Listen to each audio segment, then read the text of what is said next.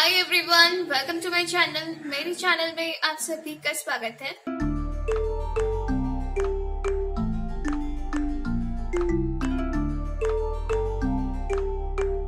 Sponge cake बनाने के लिए तीन अंडे। इनको मीडियम स्पीड पर सिर्फ़ पाँच मिनट के लिए पहले बीट कर लेंगे। आप हैंड विस्कर का भी इस्तेमाल कर सकते हैं।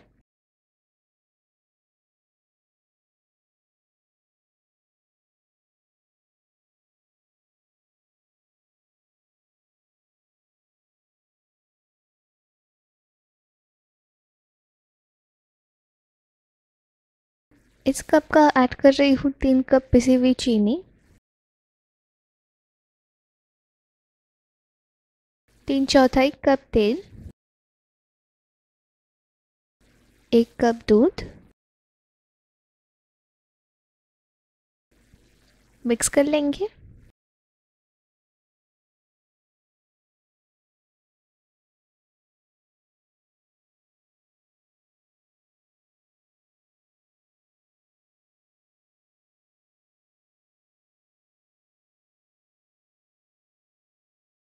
चार टेबल स्पून कस्टर्ड पाउडर मैं यहाँ पर कस्टर्ड स्पॉन्ज केक बना रही हूँ।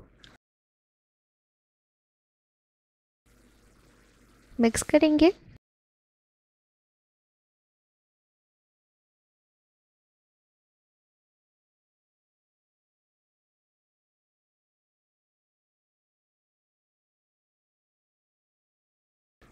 जिस कप से हमने पिसी हुई चीनी को नापा था, उसी कप का सेम क्वांटिटी में लेंगे मैदा।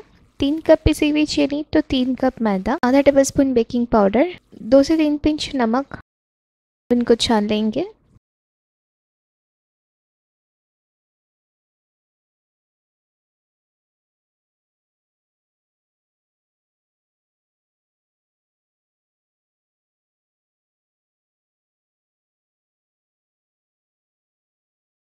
सभी को बहुत ही अच्छी तरह से मिक्स कर लेंगे।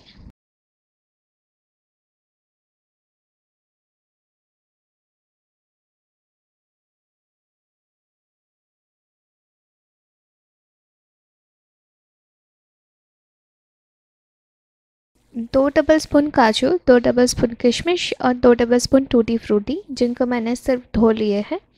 इनमें थोड़ा सा ही मैदा ऐड करके मिक्स कर लेंगे और इसे साइड में रख देंगे। से केक की तले में नहीं जाएगी। एक तिहाई टेबल स्पून जायफल कद्दूकस की हुई। दो टेबल स्पून ऑरेंज का छिलका जिसको मैंने कद्दूकस कर लिए हैं। टूटी फ्रूटी को ऐड करेंगे। मिक्स कर लेंगे।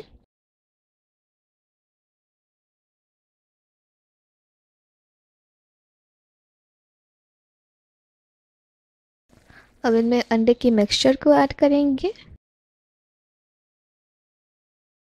और इन्हें बस बीट कर लेंगे पाँच से छः मिनट के लिए हाई स्पीड पर। और इनमें कोई भी लम्स ना रहे, उतने तक हमें इन्हें बीट कर लेना है। केक टीन को तेल से ब्रश करके मैदे से डस्ट कर लिए है। केक की बैटर को डाल देंगे।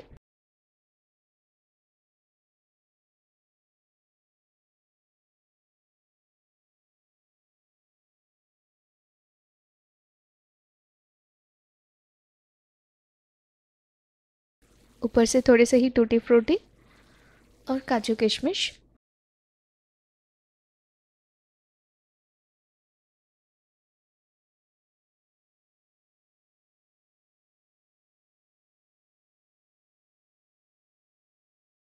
टैप करेंगे।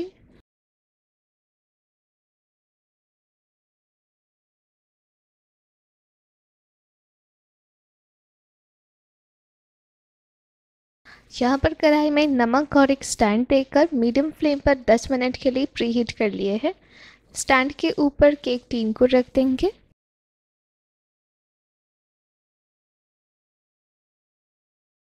कवर करके लो टू मीडियम फ्लेम पर पका लेंगे 40 से 45 मिनट के लिए। 40 से 45 मिनट के बाद केक बेक हो चुकी है। इसको चेक कर लेंगे।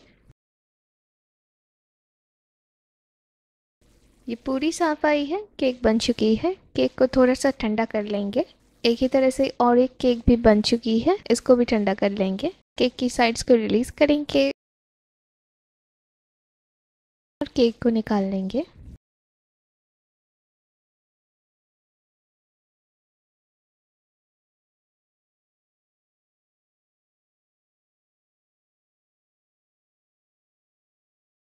बहुत ही क्विक और इजी कस्टर्ड केक बन चुकी है। खाने में बहुत ही टेस्टी है। आप इसे बनाकर फ्रिज में रख सकते हैं, बच्चों को लंच बॉक्स में दे सकते हैं।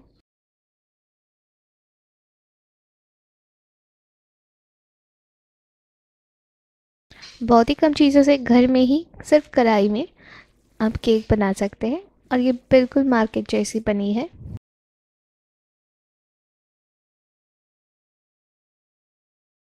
बिल्कुल सॉफ्ट और स्पॉन्जी भी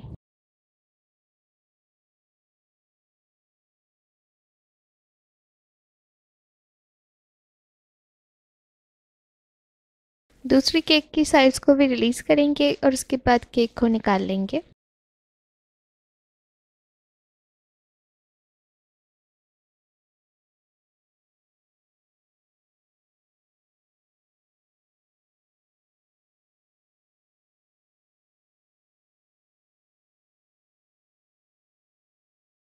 केक को आप आधा से एक घंटा ठंडा करने के बाद परोसे तो ये खाने में और भी ज़्यादा टेस्टी लगते हैं।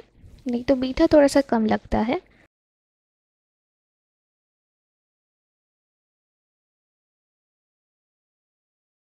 तो घर में ज़रूर बनाइए और कमेंट करके बताइए कि कैसी बनी है।